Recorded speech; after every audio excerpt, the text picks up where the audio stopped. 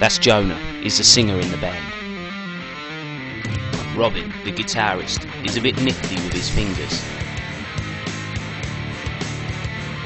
Then there's Lee, bangs out a good beat on the drums. Joe's rubbish at playing football, but great on the bass.